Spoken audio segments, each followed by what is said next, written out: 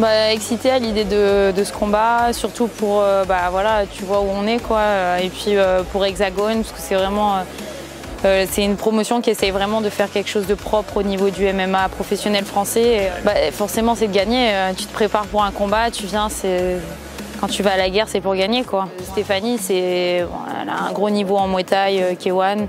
Euh, voilà, euh, c'est quelqu'un, euh, je me suis bien préparée en fonction de son niveau. Après, bah, c'est un combat, tu sais, tu vas toujours à un combat avec une préparation, tu sais jamais ce qui va vraiment se passer, donc c'est de s'adapter, on verra. Tous mes combats sont beaucoup attendus à Tahiti parce que je suis quand même l'ambassadrice première du MMA pour la, Polynésie française.